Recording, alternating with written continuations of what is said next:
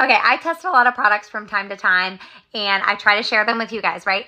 So today I tried this and it's called Uplift and I was a little skeptical, um, but it's spring, it's summertime. This is my dress and you can't really wear a bra comfortably with something like this because you're to see the straps and I have like a pet peeve about that. So I tried this and it's basically like tape. And it has really cool things so you can lift it in many different directions for many different types of dresses. Like as you can see here, look at all the different ways. I went with something kind of like this just because it's the first time I used it. I'm super thrilled. Like I didn't even know I was wearing it. It was super comfortable. Um, it kept everything in place just like it was supposed to. I will be reordering this and I got it from Amazon. Guys, you need to check this out. I'm telling you, you're going to love it.